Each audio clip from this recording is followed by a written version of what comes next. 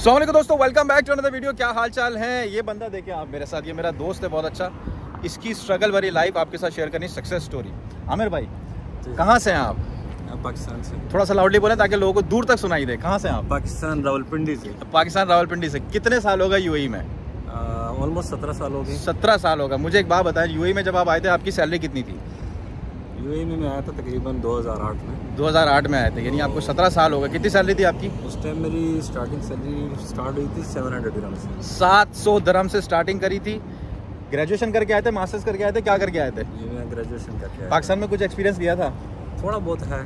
थोड़ा बहुत एक्सपीरियंस लिया था वहाँ पे। उसके बाद यहाँ पे आप सात सौ दरम में क्या जॉब करने के लिए लगे थे? आ, मैंने स्टार्ट किया था as a office boy as a office boy यार देखो जरा देखो एक्सक्यूजेस नहीं होते लाइफ में भाई अच्छा।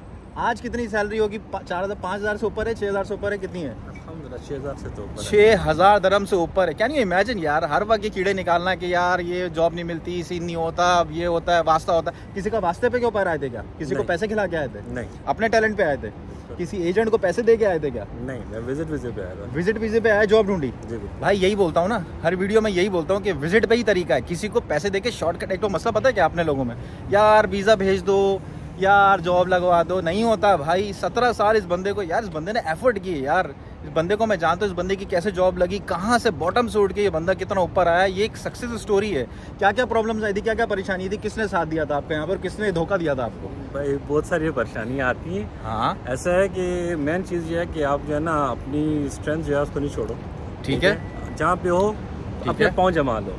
ठीक है। अगर आपके पाँव जम जाते हैं तो फिर मैं नहीं कहता कि कोई आपको वहाँ से हटा सकता है या आपके सक्सेस को कोई रोक सकता है। ठीक है। क्योंकि मैंने जब स्टार्ट किया था उस टाइम पे लाजमी सी बात है उस टाइम कुछ डिफरेंस थी यहाँ का सिस्टम ही डिफरेंट था। सही है। लेकिन 700 सैलरी में काम करना और उसके बाद तकरीबन ये नहीं है कि मैंने सिर्फ़ 700 सैलरी स्टार्टिंग से की। ठीक है। मैंने तकरीबन छः सात साल ठीक 700 सैलरी पे काम उसके बाद क्या किया?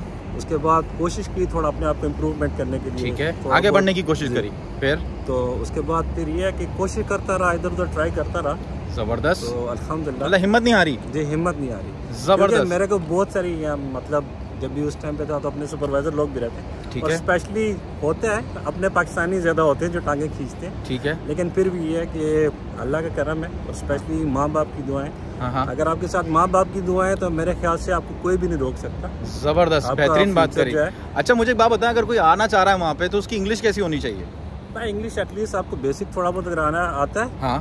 तो आप आगे कंफर्ट हो जाते हो क्योंकि माहौल से सीख जाते हैं माहौल में रहोगे तो आप सीखोगे। ठीक है। मैंने स्टार्टिंग में जो काम किया था हाँ हाँ। मैंने दुबई हेल्थ अथॉरिटी में काम किया था। ठीक है। तो उस टाइम ये है कि एज ए मैसेंजर काम किया वहाँ पे। फाइलिंग वगैरह के लिए। ठीक है। तो वहाँ पे मेरे जो माहौल था अरेबिक था। सही है। तो बेसिक अरेबिक मैंने वहाँ से सीखी है। फिर स्लो स्लो करते करते जगह चेंज हुई। सही है। ठीक है एक। कंपनी में आगे एम्प्लॉय थे ठीक है। दूसरी जगह पे भेजा गया। ठीक है। तो वहाँ पे फिर मैंने जो है ना सीखना शुरू किया इंग्लिश सीखना शुरू की।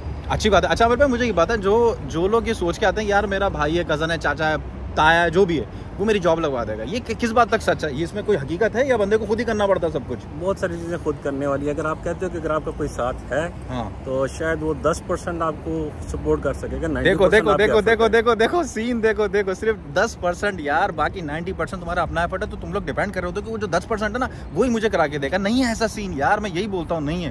टोटली डिफरेंट है। ये देखो दुबई देखो देखो। ये देखो दुबई देखो ये हम दुबई में खड़े हुए हैं ये देखो। पता चल रहा है सब। देखो। भाई इस बंदे, ये जो मेरा दोस्त है ना, ये मेरा जिगरी है। सीन क्या है? इसकी सक्सेस स्टोरी से बड़ा इंस्पायर हुआ। मैंने कहा, यार, ये लोगों को पता चलना चाहिए। वो जो नेगेटिव थिंकिंग है ना लोगों के अंदर कि, नहीं यार, ये तो सीन पॉसिबल नहीं है, नहीं होगा। ऐसा नहीं होता है यार। देखो, तुम सत्रह साल इस बंदे को हो गए और आठ सौ दरम से आज इसकी फिगर चेक करो कि माशाल्लाह कहाँ गया और अलहमदिल्ला खुश है। बताने का मकसद क्या है? हार्ड वर्क करो लाइफ में।